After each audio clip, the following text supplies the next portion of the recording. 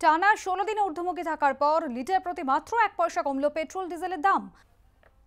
টানা ষোলো দিন ঊর্ধ্বমুখী থাকার পর লিটার প্রতি মাত্র এক পয়সা কমেছে পেট্রোল, ডিজেলের দাম। আজ কলকাতা পেট্রোলের দাম একাশি টাকা পাঁচ পয়সা, ডিজেলের দাম একাত্তর টাকা আট পাঁচ পয়সা। ইন্ডিয়ান অয়েলের দাবি টাইপিংয়ের ভুলের জন্যই সকালে পেট্রোলের দাম উনষাট পয়সা এবং ডিজেলের দাম ছাপ্পান্ন পয়সা কমেছে বলে প্রচারিত হয়েছে।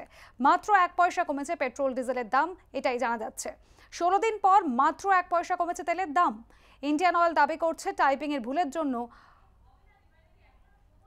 সকালে ছাপ্পান্ন পয়সা এবং উনষাট পয়সা দাম কমেছে বলে মনে করা হয়েছিল।